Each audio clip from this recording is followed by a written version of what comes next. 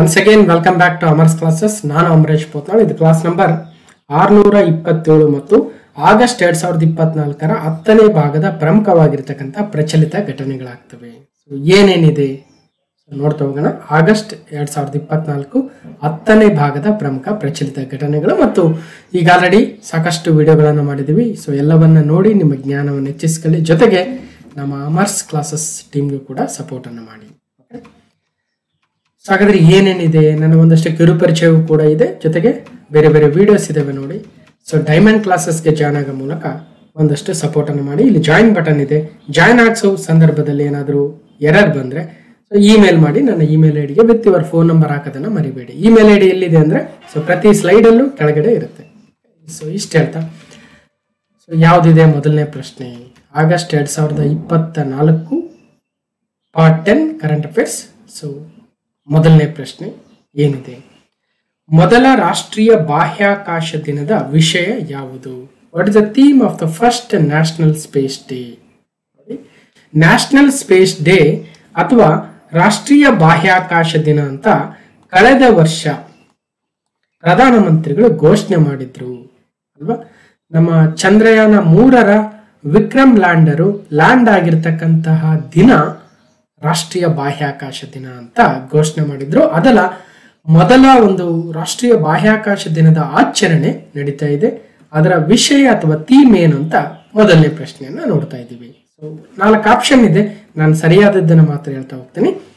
So touching lives while touching the moon India's space saga ಎನ್ನುವುದು ಎರಡು ಸಾವಿರದ ಇಪ್ಪತ್ತ ನಾಲ್ಕು ರಾಷ್ಟ್ರೀಯ ಬಾಹ್ಯಾಕಾಶ ದಿನದ ಥೀಮ್ ಆಗುತ್ತೆ ಆಗಸ್ಟ್ ಇಪ್ಪತ್ತ್ಮೂರು ಕರೆಕ್ಟ್ ಆಗಸ್ಟ್ ಇಪ್ಪತ್ತ್ಮೂರು ಎರಡು ಸಾವಿರದ ಇಪ್ಪತ್ನಾಲ್ಕು.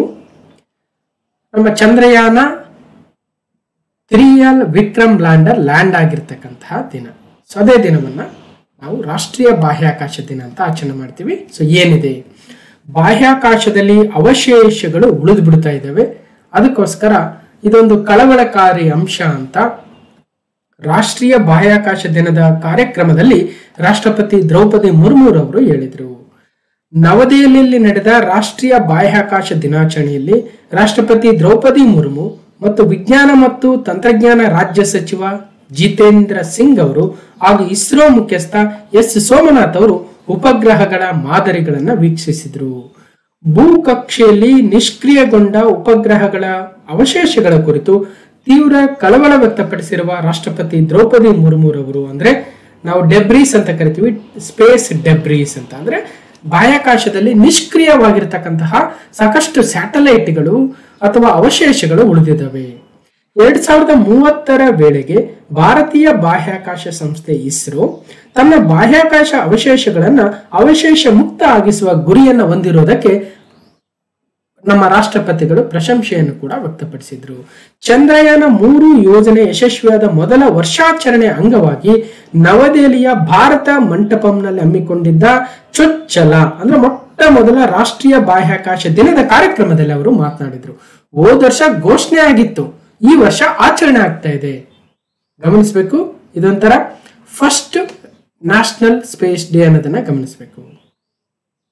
ಓಕೆ ಸೊ ಬಾಹ್ಯಾಕಾಶದಲ್ಲಿರ್ತಕ್ಕಂಥ ಅವಶೇಷಗಳು ಯೋಜನೆಗಳಿಗೆ ಹಿನ್ನಡೆ ಉಂಟು ಮಾಡಿದವೆ. ಎರಡ್ ಸಾವಿರದ ಮೂವತ್ತರ ಒಳಗಾಗಿ ಭಾರತವು ಎಲ್ಲಾ ಬಾಹ್ಯಾಕಾಶ ಯೋಜನೆಗಳನ್ನ ಅವಶೇಷ ಮುಕ್ತಗೊಳಿಸಲು ಮುಂದಡಿ ಇಟ್ಟಿದೆ ಅಂತ ಅವರು ಸಂತಸ ವ್ಯಕ್ತಪಡಿಸಿದ್ರು. ಕಳೆದ ವರ್ಷ ಆಗಸ್ಟ್ ಇಪ್ಪತ್ತ್ ಮೂರಂದು ಚಂದ್ರಯಾನ ಮೂರರ ಭಾಗವಾಗಿ ಕಳಿಸಿದ್ದ ವಿಕ್ರಮ್ ಲ್ಯಾಂಡರ್ ಚಂದ್ರನ ಅಂಗಕ್ಕೆ ಇಳಿದಿತ್ತು. ಚಂದ್ರನ ದಕ್ಷಿಣ ಧ್ರುವದಲ್ಲಿದ್ದ ಮೊದಲ ದೇಶವೆಂಬ ಹೆಗ್ಗಳಿಕೆಗೂ ಕೂಡ ಭಾರತ ಪಾತ್ರವಾಗಿತ್ತು ಆ ಸಂದರ್ಭದಲ್ಲಿ ಪ್ರಧಾನಮಂತ್ರಿಗಳು ಈ ಒಂದು ದಿನವನ್ನ ರಾಷ್ಟ್ರೀಯ ಬಾಹ್ಯಾಕಾಶ ದಿನ ಅಂತ ಘೋಷಣೆ ಕೂಡ ಮಾಡಿದ್ರು. ಅದರ ಮೊದಲ ಆಚರಣೆ ಈಗ ನಡೀತಾ ಇದೆ ಸೊ ಭಾರತವು ತನ್ನ ಮೊದಲ ರಾಷ್ಟ್ರೀಯ ಬಾಹ್ಯಾಕಾಶ ದಿನವನ್ನು ಆಗಸ್ಟ್ ಇಪ್ಪತ್ಮೂರು ಎರಡ್ ಸಾವಿರದ ಇಪ್ಪತ್ನಾಲ್ಕರಂದು ಆಚರಿಸಿತ್ತು. ಕಾರಣ ಏನಂತ ನೋಡಿದ್ವಿ.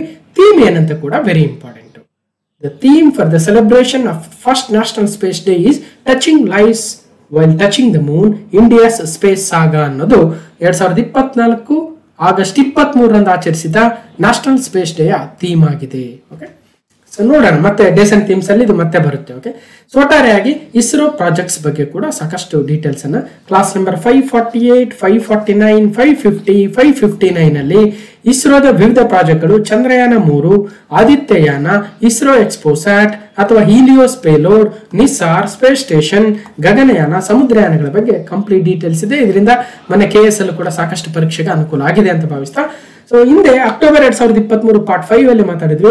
ಆಗಸ್ಟ್ ಇಪ್ಪತ್ತ್ ಮೂರಂದು ರಾಷ್ಟ್ರೀಯ ಬಾಹ್ಯಾಕಾಶ ದಿನದ ನೋಟಿಫಿಕೇಶನ್ ಕೂಡ ಆಗಿದೆ.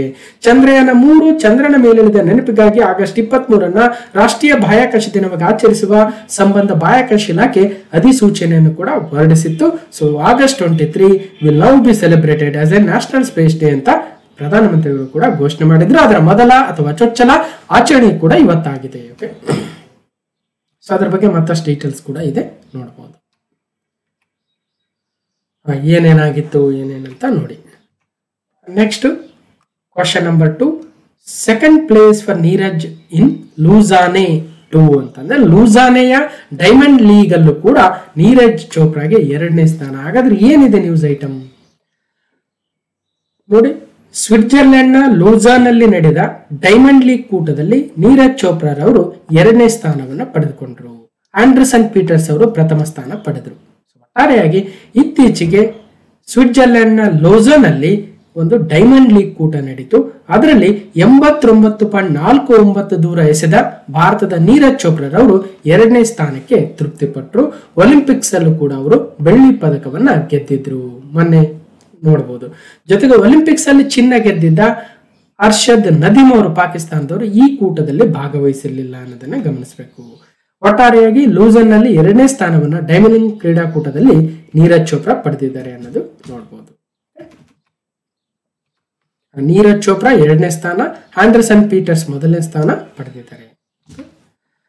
ಇನ್ನು ಕ್ವಶನ್ ನಂಬರ್ ಮೂರು, ಕೃಷಿ ವಿಜ್ಞಾನಿ ಕೃಷ್ಣಮೂರ್ತಿಗೆ ಶಾಂತಿ ಸ್ವರೂಪ್ ಭಟ್ನಾಗರ್ ಪ್ರಶಸ್ತಿ. So Shanti Swarup Bhatnagar award for agricultural scientist Krishnamurthy.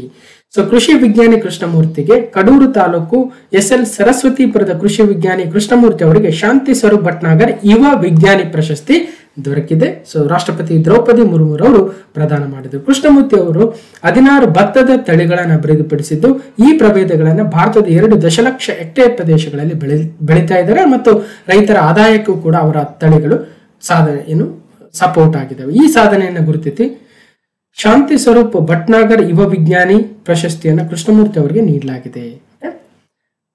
So ಬೇರೆ ಬೇರೆ ಪ್ರಶಸ್ತಿಗಳು ಕೂಡ ಅವರಿಗೆ ಸಿಕ್ಕಿದೆ ಒಟ್ಟಾರೆಯಾಗಿ ಶಾಂತಿ ಸ್ವರೂಪ್ ಭಟ್ನಾಗರ್ ಯುವ ವಿಜ್ಞಾನಿ ಪ್ರಶಸ್ತಿಯನ್ನ ಯಾರಿಗೆ ನೀಡಲಾಗಿದೆ ಅಂದ್ರೆ ಕೃಷಿ ವಿಜ್ಞಾನಿ ಕೃಷ್ಣಮೂರ್ತಿ ಅವರಿಗೆ ಅನ್ನೋದನ್ನ ಗಮನಿಸಬೇಕು. ಹಾಗಾದ್ರೆ ಯಾರು ನೀಡ್ತಾರೆ ಈ ಪ್ರಶಸ್ತಿ? ಶಾಂತಿ ಸ್ವರೂಪ್ ಭಟ್ನಾಗರ್ ಪ್ರಶಸ್ತಿಯನ್ನ ಸಿ ಎಸ್ ಐ ಆರ್, ಅಥವಾ council of scientific and industrial research ಸಂಸ್ಥೆಯು ಕೇಂದ್ರ ಸರ್ಕಾರ ಸಾವಿರದ ಒಂಬೈನೂರ ಐವತ್ತೆಂಟರಿಂದ ನೀಡ್ತಾ ಬರ್ತಾ ಇದೆ. ಯಾರು ಇವರು ಶಾಂತೇಶ್ವರ ಭಟ್ನಾಗರ್ ಅಂದ್ರೆ ಸಿ ಎಸ್ ಐ ಆರ್ನ ಸಂಸ್ಥಾಪಕರು ಮತ್ತು ನಿರ್ದೇಶಕ, ಸಂಸ್ಥಾಪಕ ನಿರ್ದೇಶಕರು ಆಗಿದ್ರು. ಅವರ ಹೆಸರಿನಲ್ಲಿ ಈ ಪ್ರಶಸ್ತಿಯನ್ನು ನೀಡ್ತಾ ಬರ್ತಾ ಇದ್ರೆ ಗಮನಿಸಬೇಕು. ಇನ್ನು ಯಾರ್ಯಾರಿಗೆ ಕೊಟ್ಟಿದ್ರು ಅನ್ನೋದು ಇಲ್ಲಿ ಲಿಸ್ಟ್ ಕೂಡ ಇದೆ. ಇವ್ರಿಗೆ ಯುವ ವಿಜ್ಞಾನಿ ಪ್ರಶಸ್ತಿ ಬಂದಿದೆ ಶ್ರೀನಿವಾಸ್ ಅವರಿಗೆ. ನೆಕ್ಸ್ಟ್ ಕ್ವಶನ್ ನಂಬರ್ ನಾಲ್ಕು, ಉನ್ನತ ವಿದ್ಯಾಭ್ಯಾಸದ ಕಾರಣ ನೀಡಿ ಹದಿನೈದು ವರ್ಷಗಳ ಟೇಬಲ್ ಟೆನ್ನಿಸ್ ವೃತ್ತಿ ಬದುಕಿಗೆ ವಿದಾಯವನ್ನು ಹೇಳಿದ್ದಾರೆ ಅರ್ಚನಾ. ಹಾಗಾದ್ರೆ ಅರ್ಚನಾ ಕಾಮತ್ ಅವರು ಯಾವ ಕ್ರೀಡೆಗೆ ಸಂಬಂಧಿಸಿದ್ದಾರೆ ಅಂತ ಕೇಳ್ಬೋದು. ಸೊ ಅರ್ಚನಾ ಕಾಮತ್ ಇತ್ತೀಚೆಗೆ ಟೇಬಲ್ ಟೆನ್ನಿಸ್ನಿಂದ ನಿವೃತ್ತಿಗೊಂಡಿದ್ದಾರೆ. ಸೊ ಟಿ ಟಿಗೆ ಅರ್ಚನಾ ಗುಡ್ ಬೈ ಉನ್ನತ ವಿದ್ಯಾಭ್ಯಾಸದ ಕಾರಣ ವೃತ್ತಿ ಬದುಕಿಗೆ ವಿದಾಯ. ಇಲ್ಲಿ ಒಂದಷ್ಟು ಮಾಹಿತಿಯನ್ನು ಕೂಡ ತಿಳ್ಕೊಳ್ಳೋಣ. ದೇಶದ ಸ್ಟಾರ್ ಟೇಬಲ್ ಟೆನ್ನಿಸ್ ಆಟಗಾರ್ತಿಯರ ಪೈಕಿ ಒಬ್ಬರಾಗಿರುವ ಮತ್ತು ಕರ್ನಾಟಕದ ಅರ್ಚನಾ ಕಾಮತ್ ಅವರು ಟೇಬಲ್ ಟೆನ್ನಿಸ್ ವೃತ್ತಿ ಬದುಕಿಗೆ ನಿವೃತ್ತಿಯನ್ನು ಘೋಷಿಸಿದ್ದಾರೆ.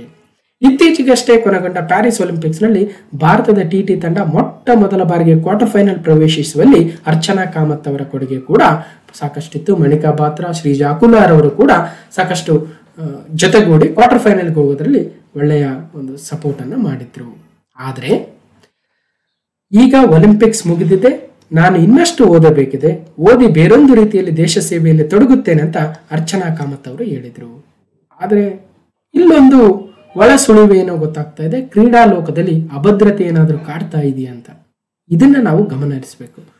ತಾವು ಆರ್ಥಿಕ ಲಾಭದ ದೃಷ್ಟಿ ಇರಿಸಿಕೊಂಡು ಟಿಟಿಯಿಂದ ದೂರವಾಗುತ್ತಿಲ್ಲ ಎಂದು ಅರ್ಚನಾ ಹೇಳಿದರೂ ದೇಶದ ಕ್ರೀಡಾಲೋಕದಲ್ಲಿನ ಅಭದ್ರತೆಯ ಕುರಿತು ಸಾಮಾಜಿಕ ಜಾಲತಾಣಗಳಲ್ಲಿ ಚರ್ಚೆ ಏರ್ಪಟ್ಟಿದೆ.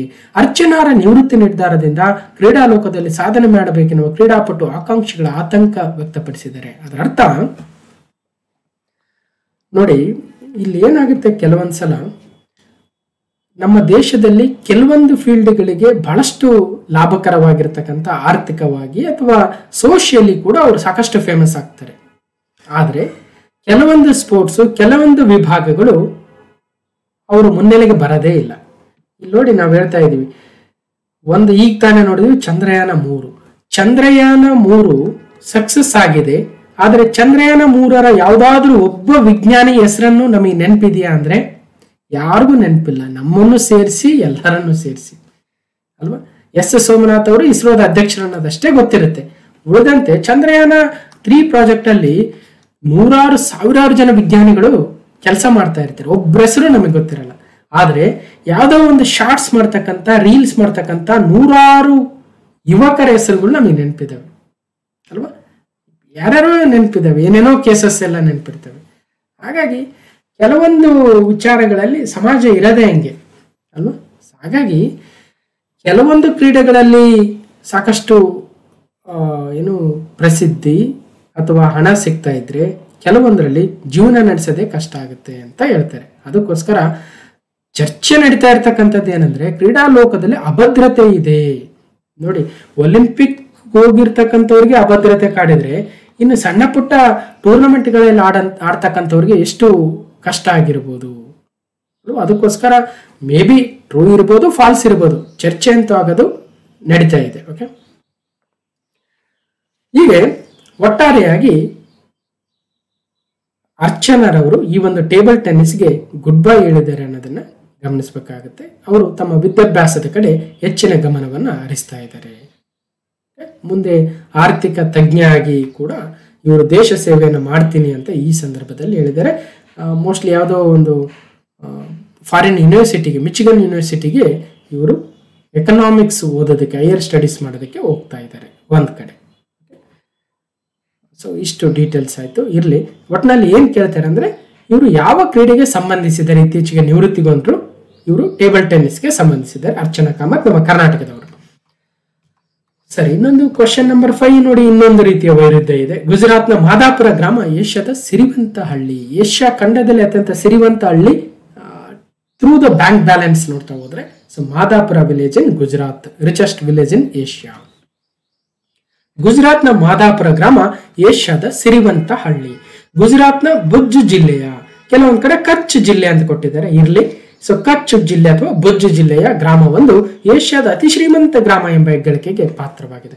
ಎರಡ್ ಸಾವಿರದ ಹನ್ನೊಂದರ ಜನಗಣತಿ ಪ್ರಕಾರ ಮೂವತ್ತೆರಡು ಸಾವಿರ ಜನಸಂಖ್ಯೆಯನ್ನು ಹೊಂದಿರತಕ್ಕಂತಹ ಈ ಒಂದು ಗುಜರಾತ್ನ ಸಣ್ಣ ಹಳ್ಳಿ ಬುಜ್ಜು ಹೊರವಲಯದಲ್ಲಿರ್ತಕ್ಕಂಥ ಮಾದಾಪುರ ಎನ್ನುವ ಗ್ರಾಮದ ಜನರು ಬ್ಯಾಂಕುಗಳಲ್ಲಿ ಸರಿಸುಮಾರು ಏಳು ಸಾವಿರ ಕೋಟಿ ರೂಪಾಯಿಗಳ ನಿಶ್ಚಿತ ಠೇವಣಿಯನ್ನ ಇಟ್ಟಿದ್ದು ವಿಶೇಷವಾಗಿದೆ. ಇದರಲ್ಲಿ ಗ್ರಾಮದ ಅನಿವಾಸಿ ಭಾರತೀಯರು ಪ್ರತಿ ವರ್ಷ ಕೋಟಿ ಕೋಟಿ ಹಣವನ್ನು ಹಣವನ್ನು ಬ್ಯಾಂಕ್ ಮತ್ತು ಅಂಚೆ ಕಚೇರಿಗಳ ಅಕೌಂಟ್ಗಳಲ್ಲಿ ಇಲ್ಲಿ ಇರಿಸ್ತಾ ಇದ್ದಾರಂತೆ.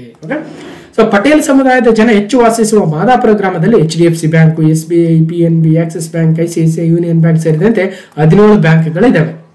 ನಮ್ಮ ಊರುಗಳಲ್ಲಿ ಒಂದು, ಎರಡು ಇದ್ರೆ ಒಂದು ಬ್ಯಾಂಕ್ಗಳು ಇಲ್ದೇ ಇರೋಂಥ ಎಷ್ಟೋ ಊರುಗಳಿದ್ದಾವೆ. ಯಾಕಂದ್ರೆ ಅಲ್ಲಿ ಠೇವಣಿನೇ ಇಡಲ್ಲ, ಏನೂ ಇಲ್ಲ. ಬಹಳ ಕಷ್ಟ ಇರುತ್ತೆ. ಇವರಾದ್ರೆ ಕೋಟಿ ಕೋಟಿ ಇಟ್ಟಿದ್ದಾರೆ, ಅದಕ್ಕೆ ಹದಿನೇಳು ಬ್ಯಾಂಕ್ಗಳಿದ್ದಾವೆ.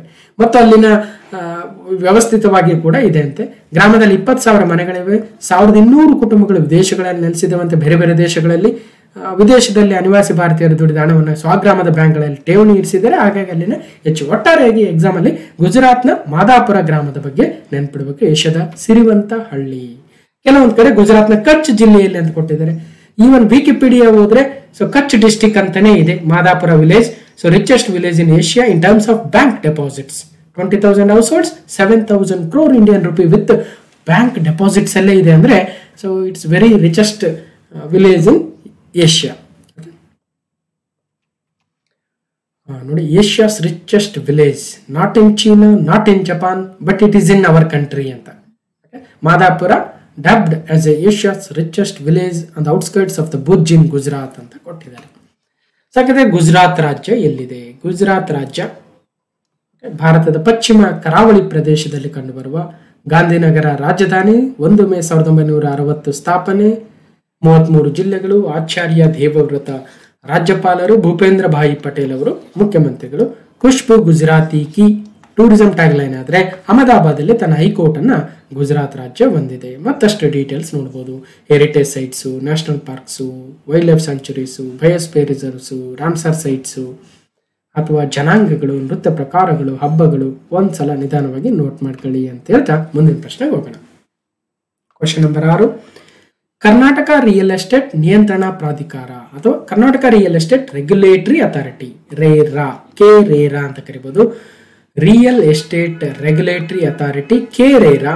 ಅದ ನೂತನ ಅಧ್ಯಕ್ಷರಾಗಿ ನಿವೃತ್ತ ಐ ಎಸ್ ಅಧಿಕಾರಿ ರಾಕೇಶ್ ಸಿಂಗ್ ಅವರು ಇತ್ತೀಚೆಗೆ ನೇಮಕಗೊಂಡಿದ್ದಾರೆ. Retired I S officer Rakesh Singh as a new chairman of Karnataka real estate regulatory authority K RERA ಹಾಗಾದ್ರೆ ಕೆ ರೇರಾದ ನೂತನ ಅಧ್ಯಕ್ಷರು ಯಾರು ಅಂದ್ರೆ ಮಾಜಿ ಐ ಅಧಿಕಾರಿ, ನಿವೃತ್ತ ಐ ಅಧಿಕಾರಿ ರಾಕೇಶ್ ಸಿಂಗ್ ಅವರನ್ನ ಸರ್ಕಾರ ನೇಮಿಸಿದೆ. ಕರ್ನಾಟಕ ರಿಯಲ್ ಎಸ್ಟೇಟ್ ನಿಯಂತ್ರಣ ಪ್ರಾಧಿಕಾರ. ಸೊ ಹಿಂದೆ S G H C Kishore ಚಂದ್ರರವರು ನೇಮಕಗೊಂಡಿದ್ರು. ಅದನ್ನು ಕೂಡ ನಾವು ಕರೆಂಟ್ ಅಫೇರ್ಸ್ ಅಲ್ಲಿ ಮಾತಾಡಿದ್ವಿ. ಅವರ ರಾಜೀನಾಮೆ ಅಥವಾ ಅವರ ಅಧಿಕಾರಾವಧಿ ಮುಗಿದ ನಂತರ ಹುದ್ದೆ ತೆರವಾಗಿತ್ತು. ಆ ಸ್ಥಾನಕ್ಕೆ ಇವತ್ತು ರಾಕೇಶ್ ಸಿಂಗ್ ಅವರು ಬಂದಿದ್ದಾರೆ. ಹಾಗಾದ್ರೆ ಏನ್ ಕೆಲಸ ಇದು? ಈಗ ಯಾವುದೋ ಒಂದು ಲೇಔಟ್ ಮಾಡ್ತೀವಿ ಅಂತ ಹೇಳಿರ್ತಾರೆ. ಲೇಔಟ್ ಮಾಡಿ ಅಲ್ಲಿ ಮನೆಗಳನ್ನ ಕಟ್ಟಿಸ್ಕೊಡ್ತು ಅಂತ ಹೇಳಿರ್ತಾರೆ. ಒಂದು ವರ್ಷದಲ್ಲಿ ಮುಗಿಸ್ತು ಅಂತ ಹೇಳಿರ್ತಾರೆ. ಮೂರು ವರ್ಷ ಆದ್ರೂ ಕೂಡ ಮುಗಿಸಲ್ಲ. ಹಾಗಾದ್ರೆ ದುಡ್ಡು ಕಟ್ಟಿರೋರ ಕತೆ ಏನು? ಅಥವಾ ಕ್ವಾಲಿಟಿ ಇಷ್ಟಿರ್ಬೇಕಂತ ಹೇಳಿರ್ತಾರೆ. ಮೊದಲು ಒಪ್ಪಿಗೆ ಕೊಟ್ಟಿರ್ತಾರೆ. ಇವಾಗ ಆಗಲ್ಲ ಅಂತ ಹೇಳ್ತಾರೆ ಅಥವಾ ಅಲ್ಲೇನೋ ಪಾರ್ಕ್ ಬರಬೇಕು, ಇನ್ನೊಂದೇನೋ ರಸ್ತೆ ಇಷ್ಟಾಗಲೇ ಇರಬೇಕು, ಇವೆಲ್ಲ ವಿಚಾರಗಳನ್ನ ರಿಯಲ್ ಎಸ್ಟೇಟ್ ಸಂಬಂಧಿತ ವಿಚಾರಗಳನ್ನ ಯಾರ ಹತ್ರ ಹೋಗಿ ನಾವು ನಾರ್ಮಲ್ ಕೋರ್ಟ್ಗೆ ಹೋದ್ರೆ ಬಹಳ ಲೇಟ್ ಆಗುತ್ತೆ. ಅದಕ್ಕೋಸ್ಕರನೇ ಈ ರಿಯಲ್ ಎಸ್ಟೇಟ್ನ ನಿಯಂತ್ರಣ ಮಾಡೋದಕ್ಕೆ ರೇರಾ ಎನ್ನುವ ಕಾಯ್ದೆ ಬಂದಿತ್ತು. ಅದರ ಮೂಲಕ ಪ್ರತಿ ರಾಜ್ಯದಲ್ಲೂ ಕೂಡ ರೇರಾವನ್ನ ತಂದಿದ್ದಾರೆ. ಕರ್ನಾಟಕ ರೇರಾದಲ್ಲಿ ಅಧ್ಯಕ್ಷರಾಗಿ ರಾಕೇಶ್ ಸಿಂಗ್ ಅವರ ನೇಮಕಗೊಂಡಿದೆ ಅನ್ನೋದು ಗಮನಿಸಬೇಕು. ಏಳನೇ ಪ್ರಶ್ನೆ, Botswana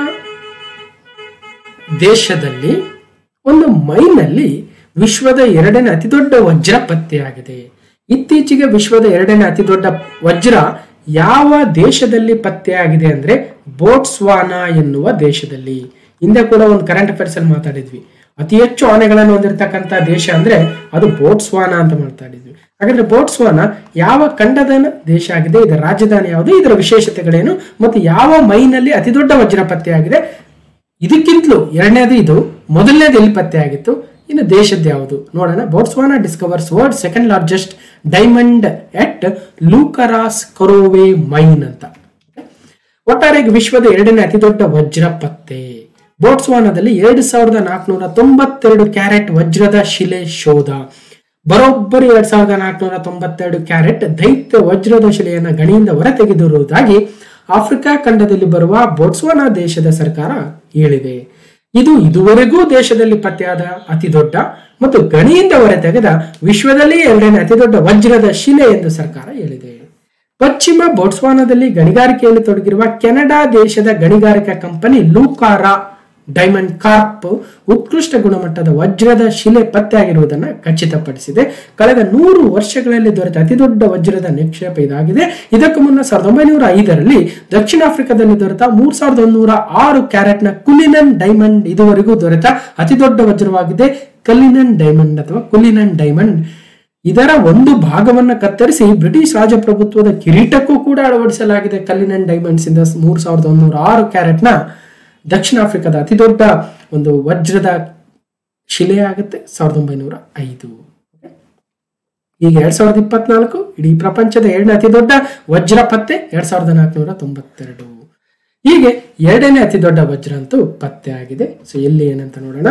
so use two four nine two carat world second largest diamond discovered in Botswana mine second largest ಅನ್ನೋದನ್ನ ಗಮನಿಸಬೇಕು. ಹಾಗಾದ್ರೆ ದ ವರ್ಲ್ಡ್ಸ್ ಬಿಗ್ಗೆಸ್ಟ್ ಡೈಮಂಡ್ ಅಂದ್ರೆ ಕಲಿನನ್ ಡೈಮಂಡ್ ಡಿಸ್ಕವರ್ಡ್ ಇನ್ ಸಾವಿರದ ಒಂಬೈನೂರ ಐದು in the premier mine Cullinan South Africa by miner name Thomas Powell ಅಂತ ಮೂರ್ ಸಾವಿರದ ಒಂದೂರ ಆರು ಪಾಯಿಂಟ್ ಏಳು ಐದು ಕ್ಯಾರೆಟ್ ಇದೆ ಅಂತೆ. ಅದೇ ಈಗ ಎರಡನೇ ಸ್ಥಾನದಲ್ಲಿ ಬೋಟ್ಸ್ವಾನದ್ದು ಬಂದಿದೆ. ಹಿಂದೆ ಕೂಡ ಬೋಟ್ಸ್ವಾನದ್ದು ಎರಡನೇ ಸ್ಥಾನದಲ್ಲಿ ಈಗ ಮತ್ತೆ ಉತ್ತಮ ಪಡಿಸಿಕೊಂಡಿದೆ ತಮ್ಮ ದಾಖಲೆಯನ್ನು. ಹಿಂದೆ ಒಂದ್ ಸಾವಿರದ ಒಂದೂರ ಒಂಬತ್ತು ಕ್ಯಾರೆಟ್ ಇತ್ತು. ಈಗ ಎರಡ್ ಸಾವಿರದ ನಾಲ್ಕುನೂರ ತೊಂಬತ್ತೆರಡು ಕ್ಯಾರೆಟ್ ಅದೇ ಬೋಟ್ಸ್ವಾನದ ದೇಶದಿಂದ ಬಂದಿದೆ. ಓಕೆ ಹಾಗಾದ್ರೆ ಕೊಹಿನೂರು ಡೈಮಂಡ್ ನಮ್ಮ ಭಾರತದ್ದು ನೆನ್ಪಿಡ್ಬೇಕು okay the Cullinan diamond and the Hope diamond ಅಂತೆ. ಹಾಗಾದ್ರೆ ಬೋಟ್ಸ್ವಾನ ಎಲ್ಲಿ ಬರುತ್ತೆ? ಬೋಟ್ಸ್ವಾನ ಸೊ ಹೀಗೆ ಸಮಭಾಜಕ ವೃತ್ತದ ಕೆಳಗಡೆ ಆಫ್ರಿಕಾ ಖಂಡದ ದಕ್ಷಿಣ ಭಾಗದಲ್ಲಿ ಒಂದು ರೀತಿಯಲ್ಲಿ ಟ್ರೋಪಿಕ್ ಆಫ್ ಕ್ಯಾಪ್ರಿಕಾರ್ನ್ ಅಥವಾ ಮಕರ ಸಂಕ್ರಾಂತಿ ವೃತ್ತವು ಬೋಟ್ಸ್ವಾನ ದೇಶವನ್ನ ಎರಡಾಗಿ ಅಥವಾ ಸಮಭಾ, ಸಮಭಾಗವಾಗಿ ಡಿವೈಡ್ ಮಾಡುತ್ತೆ ಬೋಟ್ಸ್ವಾನ ದೇಶವನ್ನ. ಗಮನಿಸಬೇಕು. ಹಾಗಾದ್ರೆ ಬೋಟ್ಸ್ವಾನ ದೇಶ ಸೊ ಒಂದ್ ಕಡೆ ಜಿಂಬಾಬೆ ಇದೆ, ಜಾಂಬಿಯಾ ಇದೆ, ಮತ್ತೊಂದ್ ಕಡೆ ಅಂಗೋಲಾ, ಹಾಗೆ ನಮೀಬಿಯಾ ಕೂಡ ಇದೆ, ಸೌತ್ ಆಫ್ರಿಕಾ ದಕ್ಷಿಣಕ್ಕೆ ಇದೆ. ಟ್ರೋಪಿಕ್ ಆಫ್ ಕ್ಯಾಪ್ಟ್ರಿಕಾರ್ನ್ ಆಲ್ಮೋಸ್ಟ್ ಮಿಡ್ಲಲ್ಲಿ ಹೋಗುತ್ತೆ. ಇದರ ರಾಜಧಾನಿ ಗ್ಯಾಬೋರೋನ್. ಗ್ಯಾಬೋರೋನ್. ಮತ್ತಷ್ಟು ಡೀಟೇಲ್ಸ್ ನೋಡ್ಬೋದು. ಅಲ್ಲಿನ ಪ್ರಧಾನಮಂತ್ರಿಗಳು ವೈಸ್ ಪ್ರೆಸಿಡೆಂಟ್ ಪ್ರೆಸಿಡೆಂಟ್ ಬಟ್ ಕೇಳಲ್ಲ. ಎಲ್ಲಿ ಯಾವ ಖಂಡದಲ್ಲಿ ಬರುತ್ತೆ ಕೇಳ್ಬೋದು? ಯಾವ ಭಾಗದಲ್ಲಿ ಬರುತ್ತೆ ಕೇಳ್ಬೋದು? ಅಲ್ವಾ? ಸೊ ಈ ರೀತಿಯಾಗಿ. ಅಥವಾ ಅದರ ಅಕ್ಕಪಕ್ಕದ ದೇಶಗಳು ಯಾವಂತ ಕೇಳ್ಬೋದು. ಬೋಟ್ಸ್ವಾನ ಆನೆಗಳಿಗೆ ವೆರಿ ಫೇಮಸ್ ಇದೆ ನೆನ್ಪಿಡ್ಬೇಕು. ನೆಕ್ಸ್ಟ್ ಕ್ವಶನ್ ನಂಬರ್ ಎಂಟು. ಎರಡ್ ಸಾವಿರದ ಇಪ್ಪತ್ನಾಲ್ಕು, ಇಪ್ಪತ್ತೈದನ ಆರ್ಥಿಕ ವರ್ಷದ ಜೂನ್ ತ್ರೈಮಾಸಿಕದಲ್ಲಿ ದೇಶದ ಜಿಡಿಪಿ ಬೆಳವಣಿಗೆಯು ಶೇಕಡ ಆರರಷ್ಟು ಪ್ರಗತಿಯನ್ನು ಕಾಣಲಿದೆ ಎಂದು ದೇಶದ ಕ್ರೆಡಿಟ್ ರೇಟಿಂಗ್ ಸಂಸ್ಥೆ ಆಗಿರ್ತಕ್ಕಂಥ ಐ ಸಿ ಆರ್ ಎ ಅಂದಾಜನ್ನು ಮಾಡಿದೆ. Domestic credit rating agency I C R A has estimated the country's G D P growth to grow by six percent ಇಂದ June quarter of F I two thousand twenty four twenty five ಎರಡ್ ಸಾವಿರದ ಇಪ್ಪತ್ನಾಲ್ಕು, ಇಪ್ಪತ್ತೈದರ ಆರ್ಥಿಕ ವರ್ಷ ಆರಂಭವಾಗದೆ April ಒಂದರಿಂದ. April ಒಂದರಿಂದ ಏಪ್ರಿಲ್, ಮೇ, ಜೂನ್. ಇದು ಮೂರು ತಿಂಗಳ ಒಂದು ಕ್ವಾರ್ಟರ್ ಅಥವಾ ಪ್ರಥಮ ತ್ರೈಮಾಸಿಕ ಅಂತ ಕರಿತೀವಿ. ಈ ತ್ರೈಮಾಸಿಕದಲ್ಲಿ ಸಿಕ್ಸ್ ಪರ್ಸೆಂಟ್ ಅಷ್ಟು ಗ್ರೋತ್ ಆಗಲಿದೆ ದೇಶದ ಜಿ ಡಿ ಪಿ ಅಂತ ಐ ಸಿ ಆರ್ ಎ ಹೇಳಿದೆ. ಸೊ ಜಿ ಡಿ ಪಿ ಬೆಳವಣಿಗೆ ಮಂದಗತಿ ಜೂನ್ ತ್ರೈಮಾಸಿಕದಲ್ಲಿ ಶೇಕಡ ಆರಷ್ಟು ದಾಖಲಾಗಿದೆ ಅಂತ ಐ ಸಿ ಆರ್ ಹೇಳಿದೆ. ಸ್ವಲ್ಪ ಡೌನ್ ಆಗಿದೆ. ಸೊ ಎರಡ್ ಸಾವಿರದ ಇಪ್ಪತ್ನಾಲ್ಕು, ಇಪ್ಪತ್ತೈದನೇ ಸಾಲಿನ ಆರ್ಥಿಕ ವರ್ಷದ ಜೂನ್ ತ್ರೈಮಾಸಿಕದಲ್ಲಿ ದೇಶದ ಜಿ ಡಿ ಪಿ ಬೆಳವಣಿಗೆಯು ಶೇಕಡ ಆರರಷ್ಟು ಪ್ರಗತಿ ಕಾಣಲಿದೆ ಎಂದು ದೇಶದ ಕ್ರೆಡಿಟ್ ರೇಟಿಂಗ್ ಸಂಸ್ಥೆ ಐ ಸಿ ಆರ್ ಎ ಅಂದಾಜನ್ನು ಮಾಡಿದೆ. ಕಾರಣ ಏನಂದ್ರೆ, ಯಾಕೆ ಕಡಿಮೆ ಆಗ್ತಾ ಇದೆ ಅಂದ್ರೆ, ಸುಮಾರು ಏಳು ಪರ್ಸೆಂಟ್ ಅಷ್ಟು ಬೆಳವಣಿಗೆಯನ್ನು ಕಾಣುತ್ತೆ ಅಂತ ಆರ್ ಬಿ ಐ ಹೇಳಿದೆ ಐ ಎಂ ಎಫ್ ಹೇಳಿದೆ, ವಿಶ್ವ ಬ್ಯಾಂಕ್ ಹೇಳಿದೆ ಅಲ್ವಾ? ಆದ್ರೆ ಈ ಫಸ್ಟ್ ಕ್ವಾರ್ಟರ್ ಅಲ್ಲೇ ಕಡಿಮೆ ಆಗ್ತಾ ಇದೆ ಕಾರಣ ಏನಂದ್ರೆ, ಸರ್ಕಾರದ ಸಾರ್ವಜನಿಕ ವೆಚ್ಚದಲ್ಲಿನ ಇಳಿಕೆ, ನಗರ ಪ್ರದೇಶದಲ್ಲಿ ಬೇಡಿಕೆ ಕುಗ್ಗಿರುವುದಕ್ಕೆ ಕಾರಣ ಅಂತ ತನ್ನ ವರದಿಯಲ್ಲಿ ಐ ಸಿ ಆರ್ ಹೇಳಿದೆ. ಎರಡ್ ಸಾವಿರದ ಇಪ್ಪತ್ನಾಲ್ಕು, ಇಪ್ಪತ್ತೈದು ಪೂರ್ಣವಾಗಿ, ಈಗ ಕ್ವಾರ್ಟರ್ ಒಂದು ಸಿಕ್ಸ್ ಪರ್ಸೆಂಟ್ ಕ್ವಾರ್ಟರ್ ಟೂದ ಎಷ್ಟಾಗ್ಬೋದು? ಕ್ವಾರ್ಟರ್ ತ್ರೀದು ಎಷ್ಟಾಗ್ಬೋದು? ಕ್ವಾರ್ಟರ್ ಫೋರ್ದು ಎಷ್ಟಾಗ್ಬೋದು? ಅಥವಾ ಅಷ್ಟು ಸೇರಿಸಿ ಇಡೀ ಆರ್ಥಿಕ ವರ್ಷದಲ್ಲಿ ಸಿಕ್ಸ್ ಪಾಯಿಂಟ್ ಎಂಟರಷ್ಟು ಸಿಕ್ಸ್ ಪಾಯಿಂಟ್ ಏಯ್ಟರಷ್ಟು ಡೆವಲಪ್ ಅಥವಾ ಗ್ರೋತ್ ಆಗ್ಲಿ, ಆಗಬಹುದು ಅಂತ ಅಂದಾಜನ್ನು ಕೂಡ ಮಾಡಿದೆ. ಎರಡ್ ಸಾವಿರದ ಇಪ್ಪತ್ತ್ ಮೂರು, ಇಪ್ಪತ್ನಾಲ್ಕನೇ ಆರ್ಥಿಕ ವರ್ಷದಲ್ಲಿ ದಾಖಲಾಗಿದ್ದ ಶೇಕಡ ಎಂಟು ಪಾಯಿಂಟ್ ಎರಡರಷ್ಟಕ್ಕಿಂತಲೂ ಬಹಳ ಕಡಿಮೆ ಆಗಲಿದೆ ಎನ್ನುವ ಒಂದು ಅಂದಾಜನ್ನ ಮಾಡಿದ್ದಾರೆ ಓಕೆ ಮತ್ತಷ್ಟು ಡೀಟೇಲ್ಸ್ ಇದೆ ನೋಡ್ಬೋದು. ಸೊ ಕ್ವಶನ್ ನಂಬರ್ ಒಂಬತ್ತು ಡಾರಿಯಸ್ ವೀಸರ್ ಯಾರು? Darius Visser T twenty cricket ಪಂದ್ಯವೊಂದರ ಒಂದೇ ಓವರ್ನಲ್ಲಿ ಮೂವತ್ತೊಂಬತ್ತು ರನ್ ಕಲೆ ಹಾಕುವುದರೊಂದಿಗೆ ನೂತನ ವಿಶ್ವ ದಾಖಲೆಯನ್ನು ಸೃಷ್ಟಿಸಿದರೆ ಒಂದು ಓವರಲ್ಲಿ ಎಷ್ಟು ಬಾಲ್ ಇರ್ತವೆ? ಆರು ಬಾಲ್ ಇರ್ತವೆ. ಆರು ಬಾಲಲ್ಲಿ ಸೊ ಆರು ಆರು ಆರು ಆರು ಆರು ಆರು. ಆರಿಗೆ ಆರು ಆರು ಬಾಲ್ಗೆ ಆರು ಸಿಕ್ಸ್ ಹೊಡೆದು ಮೂವತ್ತಾರು ರನ್ ಹೊಡಿಬಹುದು ಆದರೆ ಮೂವತ್ತೊಂಬತ್ತು ರನ್ ಬಂದಿದೆ ಅಂತೆ. ಆ ಮೂಲಕ ದಾಖಲೆಯು ಕೂಡ ಆಗಿದೆ. ಸೊ ಯಾವ ಪಂದ್ಯ, ಯಾರು ಹೊಡೆದ್ರು ಯಾರು ಡೇರಿಯಸ್ ವಿನ್ಸರ್ ಯಾವ ದೇಶದತ್ತ, ಒಂದು ಸ್ವಲ್ಪ ಸುದ್ದಿಲಿದ್ದಾರೆ. ಕೆಲವೊಂದು ಕೆ ಇ ಎಕ್ಸಾಮಲ್ಲಿ ನೇರವಾಗಿ ಸ್ಪೋರ್ಟ್ಸ್ ಕ್ವಶನ್ಸ್ ಬಹಳ ಕೇಳ್ತಾರೆ. ಅದಕ್ಕೋಸ್ಕರ ಒಂದು ಸ್ವಲ್ಪ ನೋಡ್ಕೊಂಬಿಡೋಣ. ಓಕೆ ಒಂದೇ ಓವರ್ನಲ್ಲಿ ಮೂವತ್ತೊಂಬತ್ತು ರನ್. ಸಮೋವಾ ಎನ್ನುವ ದೇಶದ ರಾಜಧಾನಿ ಆಪಿಯಾ. ಈ ಸಮೋವಾ ದೇಶದ ರಾಜಧಾನಿ ಆಪಿಯಾದ batter Darius Visser T twenty cricket ಪಂದ್ಯವೊಂದರ ಒಂದೇ ಓವರ್ನಲ್ಲಿ ಮೂವತ್ತೊಂಬತ್ತು ರನ್ ಕಲೆ ಹಾಕೋದ್ರೊಂದಿಗೆ ನೂತನ ವಿಶ್ವ ದಾಖಲೆಯನ್ನ ಸೃಷ್ಟಿಸಿದ್ರು. ಸಮೂಹದ ರಾಜ್ಯದ ಆಪಿಯಾದಲ್ಲಿ ನಡೆದ ಟಿ ಟ್ವೆಂಟಿ ವಿಶ್ವಕಪ್ ಪೂರ್ವ ಏಷ್ಯಾ ಪೆಸಿಫಿಕ್ ವಲಯದ ಅರ್ಹತಾ ಪಂದ್ಯದಲ್ಲಿ ಈ ರೀತಿಯ ಸಾಧನೆಯನ್ನು ಮಾಡಿದ್ರು. ಅವರು ಡಾರಿಯಸ್ ವಿಜರ್ ಅವರು ಸಿಕ್ಸ್ ಸಿಕ್ಸ್ ಸಿಕ್ಸ್ ಒಂದು ನೋಬಾಲ್ ಆಗಿದೆ, ಮತ್ತೆ ಸಿಕ್ಸ್ ಮತ್ತೆ ಜೀರೋ ಒಂದು ನೋಬಾಲು ಮತ್ತೆ ಒಂದು ನೋಬಾಲು ಸಿಕ್ಸ್ ಮತ್ತೆ ಸಿಕ್ಸ್ ಹೀಗೆ ಒಟ್ಟು ಮೂವತ್ತೊಂಬತ್ತು ರನ್. ಈ ಹಿಂದೆ ಯುವರಾಜ್ ಸಿಂಗ್ ಅವರು ಆರ್ ಬಾಲ್ಗೆ ಆರ್ ಸಿಕ್ಸ್ ಕಿರಣ್ ಪೊಲಾಡ್ ಆರ್ ಬಾಲ್ಗೆ ಆರ್ ಸಿಕ್ಸ್ ರೋಹಿತ್ ಶರ್ಮಾ ಮತ್ತು ರಿಂಕು ಸಿಂಗ್ ಸೇರಿ ಒಟ್ಟು ಮೂವತ್ತಾರು ರನ್ ಹೊಡೆದಿದ್ರು ಹೀಗೆ ಒಟ್ಟಾರೆಯಾಗಿ ಯುವರಾಜ್ ಸಿಂಗ್, ಕೀಲ- ಕಿರಣ್ ಪೊಲಾಡ್ ಅವರ ದಾಖಲೆಯನ್ನು ಇವತ್ತು ಡೇರಿಯಸ್ ವೀಸರ್ ಅವರು ಮುರಿದಿದ್ದಾರೆ ಅನ್ನೋದನ್ನ ಗಮನಿಸಬಹುದು ಮೂವತ್ತೊಂಬತ್ತು ರನ್, ಡೇರಿಯಸ್ ವೀಸರ್, ಸಮೋವಾ ದೇಶದ ಒಬ್ಬ T twenty player cricket player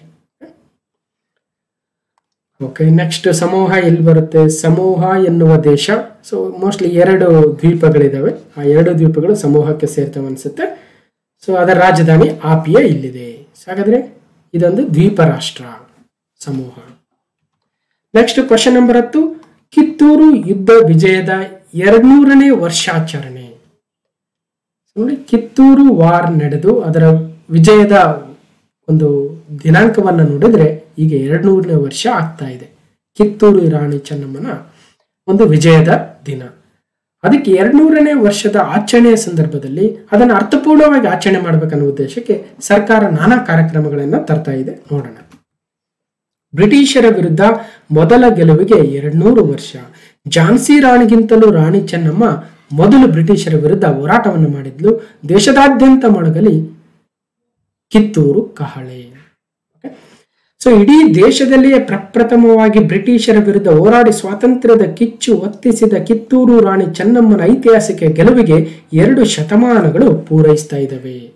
ಈ ಬಾರಿಯಾದರೂ ಒಳ್ಳೆಯ ಕಾರ್ಯಕ್ರಮಗಳನ್ನು, ಹೆಚ್ಚಿನ ಕಾರ್ಯಕ್ರಮಗಳನ್ನು ದೇಶದಾದ್ಯಂತ ಚೆನ್ನಮ್ಮನ ಒಂದು ಏನು, ಸಾಧನೆ ಹರಡೋದಕ್ಕೆ ಸರ್ಕಾರ ಮುಂದಾಗಬೇಕು ಅನ್ನೋ ಉದ್ದೇಶವನ್ನು ಕೂಡ ಕೇಳಿ ಬರ್ತಾ ಇದೆ. ರಾಣಿ ಚೆನ್ನಮ್ಮ ಬ್ರಿಟಿಷರನ್ನ ಸಾವಿರದ ಎಂಟುನೂರ ಇಪ್ಪತ್ನಾಲ್ಕರ ಯುದ್ಧದಲ್ಲಿ ಸೋಲಿಸಿ ತ್ಯಾಕರೆಯನ್ನ ಕೊಂದು ವಿಜಯೋತ್ಸವ ಆಚರಿಸಿದ ದಿನ ಅಕ್ಟೋಬರ್ ಇಪ್ಪತ್ಮೂರು. ಅಕ್ಟೋಬರ್ ಇಪ್ಪತ್ಮೂರು, ಸಾವಿರದ ಎಂಟುನೂರ ಇಪ್ಪತ್ನಾಲ್ಕು. ಸಾವಿರದ ಒಂಬೈನೂರ ಇಪ್ಪತ್ನಾಲ್ಕು ಹೋಗಿ ಎರಡು ಸಾವಿರದ ಇಪ್ಪತ್ನಾಲ್ಕು ಬರ್ತಾ ಇದೆ. ಹಾಗಾಗಿ ಅಕ್ಟೋಬರ್ ಇಪ್ಪತ್ಮೂರು, ಎರಡು ಸಾವಿರದ ಇಪ್ಪತ್ತ ನಾಲ್ಕಕ್ಕೆ ಎರಡ್ ನೂರು ವರ್ಷಗಳಾಗ್ತಾ ಇದೆ ಚನ್ನಮ್ಮಳ ವಿಜಯಕ್ಕೆ. ಇದರ ನೆನಪಿಗಾಗಿ ಪ್ರತಿ ವರ್ಷ ಕಿತ್ತೂರಿನಲ್ಲಿ ಮೂರು ದಿನಗಳ ಕಾಲ ಕಿತ್ತೂರು ಉತ್ಸವ ಆಚರಿಸುತ್ತಾ ಬರಲಾಗಿದೆ. ಈಗ ಚೆನ್ನಮ್ಮನ ಕಿತ್ತೂರು ಉತ್ಸವದ ಎರಡ್ನೂರನೇ ವರ್ಷಾಚರಣೆಯನ್ನ ಸರ್ಕಾರ ಅರ್ಥಪೂರ್ಣವಾಗಿ ಆಚರಿಸಬೇಕು ಎನ್ನುವ ಒಕ್ಕೋರಲ ಮನವಿಗಳು ಕೂಡ ಕೇಳಿ ಬರ್ತಾ ಇದ್ದಾವೆ ಓಕೆ, ಏನೇನು ಮನವಿಗಳು? ಚೆನ್ನಮ್ಮನ ಕಿತ್ತೂರು ಉತ್ಸವದ ಎರಡ್ನೂರನೇ ವರ್ಷಾಚರಣೆಯನ್ನು ಸರ್ಕಾರ ಅರ್ಥಪೂರ್ಣವಾಗಿ ಆಚರಿಸಬೇಕು. ಕಿತ್ತೂರಿನ ಇತಿಹಾಸವನ್ನು ಏಕರೂಪತೆಯಿಂದ ಪ್ರಕಟಿಸಿ ಇದರ ಮಹತ್ವವನ್ನು ರಾಷ್ಟ್ರಮಟ್ಟದಲ್ಲಿ ಪ್ರಚುರಪಡಿಸಬೇಕು. ವಿಜಯಪುರದಲ್ಲಿರುವ ರಾಣಿ ಚೆನ್ನಮ್ಮ ವಿಶ್ವವಿದ್ಯಾಲಯದ ಇತಿಹಾಸ ವಿಭಾಗವನ್ನು ಕಿತ್ತೂರಿಗೆ ಸ್ಥಳಾಂತರಿಸಬೇಕು.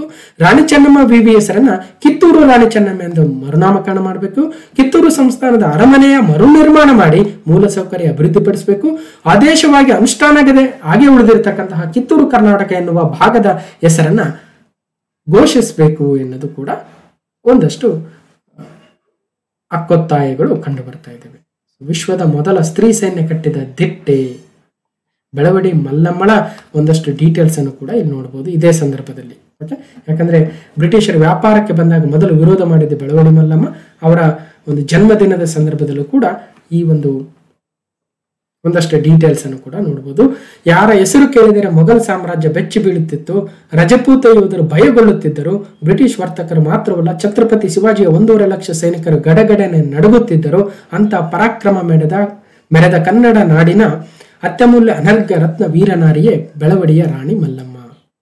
ಸೊ ಅವ್ರ ಬಗ್ಗೆ ಕೂಡ ಜನ್ಮದಿನದ ಸಂದರ್ಭದಲ್ಲಿ ಒಂದಷ್ಟು ಆರ್ಟಿಕಲ್ ಬಂದಿತ್ತು.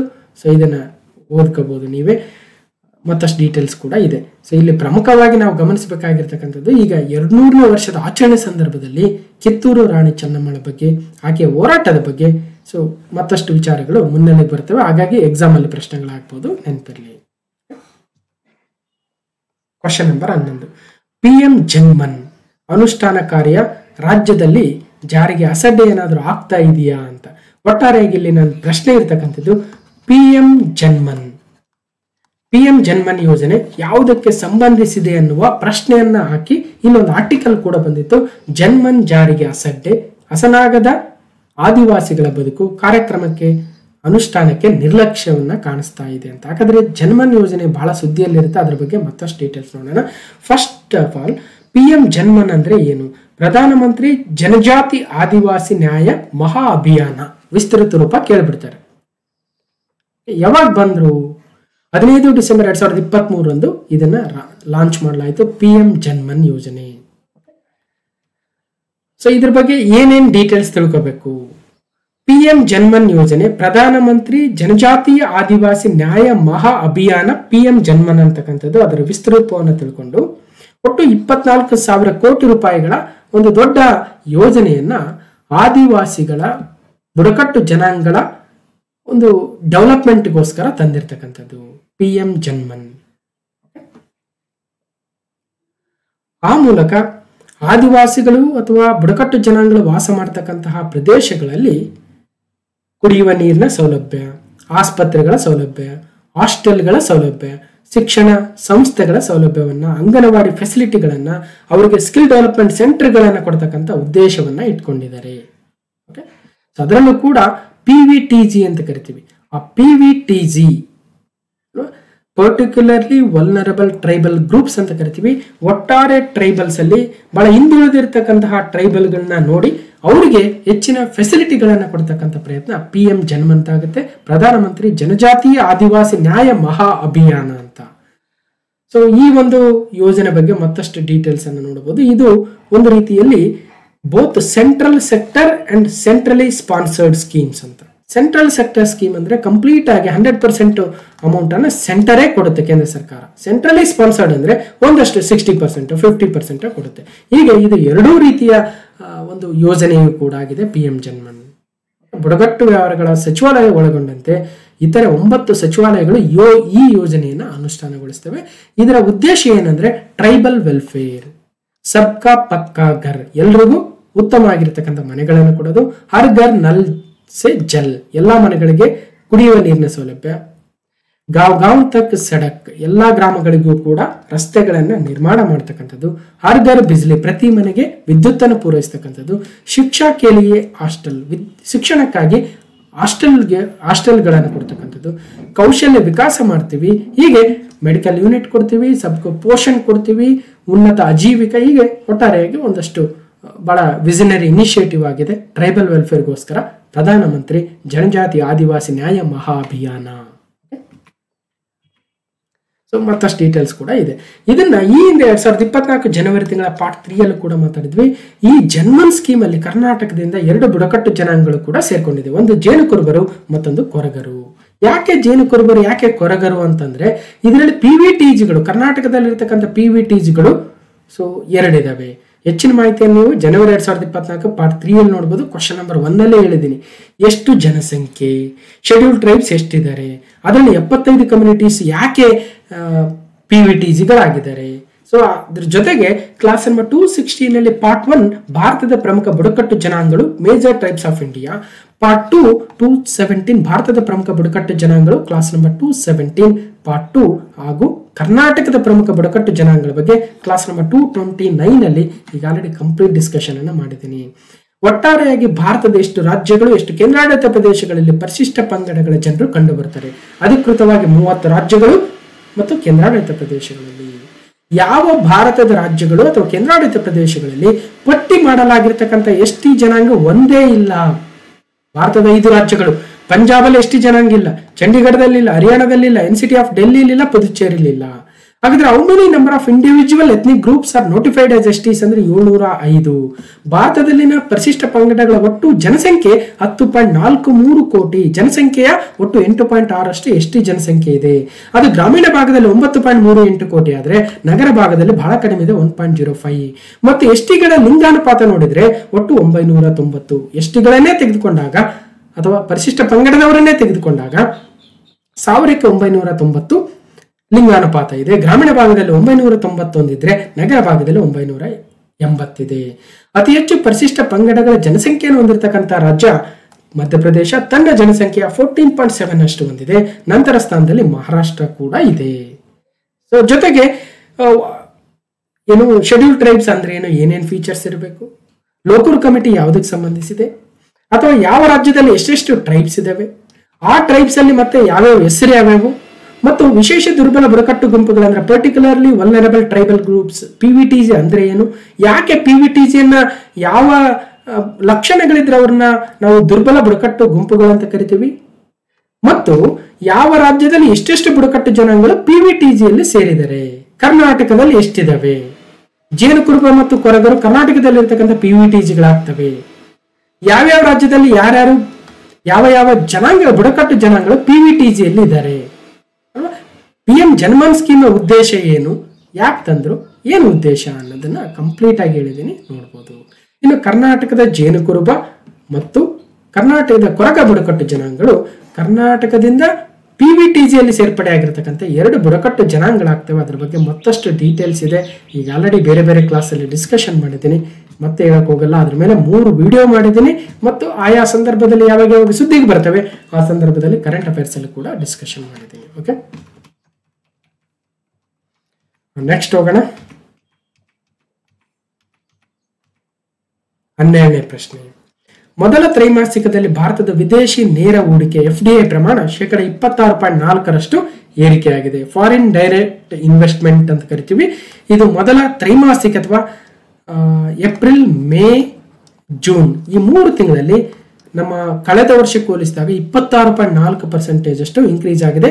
ಫಾರಿನ್ ಡೈರೆಕ್ಟ್ ಇನ್ವೆಸ್ಟ್ಮೆಂಟ್ ಸೊ ಪ್ರಸಕ್ತ ಹಣಕಾಸು ವರ್ಷದ ಮೊದಲ ತ್ರೈಮಾಸಿಕದಲ್ಲಿ ಭಾರತದಲ್ಲಿನ ವಿದೇಶಿ ನೇರ ಹೂಡಿಕೆ ಎಫ್ ಶೇಕಡ ಇಪ್ಪತ್ತಾರು ಪಾಯಿಂಟ್ ನಾಲ್ಕರಷ್ಟು ಏರಿಕೆಯಾಗಿದ್ದು, ಇಪ್ಪತ್ತೆರಡು ಪಾಯಿಂಟ್ ಐದು ಶತಕೋಟಿ ಡಾಲರ್ ಮುಟ್ಟಿದೆ.